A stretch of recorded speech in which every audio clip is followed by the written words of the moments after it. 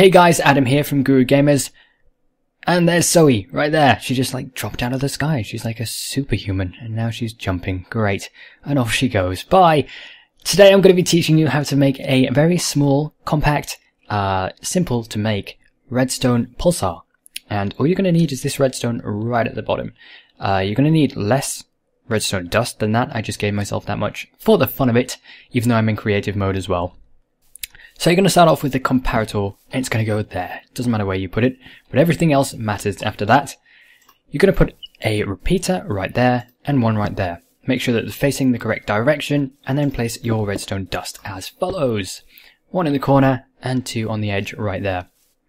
Now you're going to need an input for the comparator, which goes right here. You can have it going wherever you want, and then you can start it with a lever, and that will be great. Before you press the lever, you need to make sure that this is in subtraction mode. You do that by right clicking, and it should look like that. Uh, I'm also going to put these into the second mode, uh, just because it'll go a bit slower, and you'll be able to see the effect more.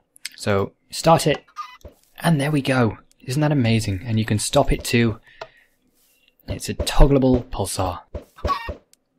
And there's a chicken.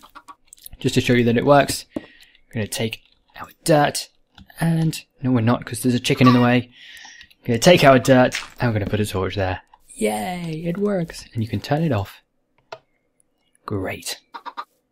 That's it for this tutorial. Don't forget to comment if you have any questions, and you can subscribe because I'll be doing some more redstone tutorials very shortly.